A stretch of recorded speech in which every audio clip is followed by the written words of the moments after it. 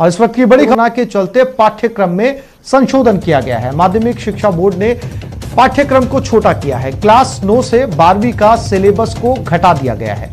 40 फ़ीसदी सिलेबस कम हुआ है। संशोधित सिलेबस बोर्ड वेबसाइट पर उपलब्ध। क्लास नाइन्थ से ट्वेल्थ तक का सिलेबस घटाया गया है। कोरोना काल में पहली बार कि बोर्ड के सिलेबस को कम किया गया है। संशोधित सिलेबस जो है, वो बोर्ड की वेबसाइट पर उपलब्ध है। अगर किसी छात्र को, अभिभावक को इस बाबत जानकारी चाहिए तो वो बोर्ड की वेबसाइट पर जाकर चेक कर सकता है। माशिबो ने ये पाठ्यक्रम को छोटा किया है। ये 9 से 12 क्लास का सिलेबस घटाया गया है और लगभग 40 फ़ीसदी सिलेबस कम हुआ है, यानी 60 फ़ीसदी सिलेबस ही पढ़ाया जाएगा। संशोधित सिलेबस बोर्ड की वेबसाइट पर उपलब्ध है। तो इस वक्त की बड़ी खबर, जहाँ माध्यमिक शिक्षा बोर्ड ने सिलेबस को छोटा कर दिया है।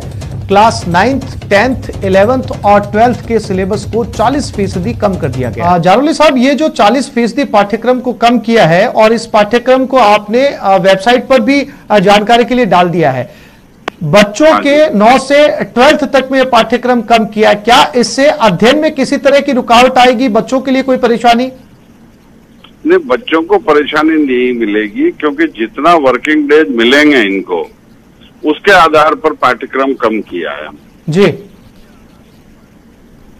जी। इसलिए इसलिए अध्ययन में कोई रुकावट और नहीं होगी। ये जो चालीस फ़ीसदी पाठ जी। हाँ जी। ये थर्टी परसेंट तो जो सीबीएसई जी जालोली साहब बोलिए जी।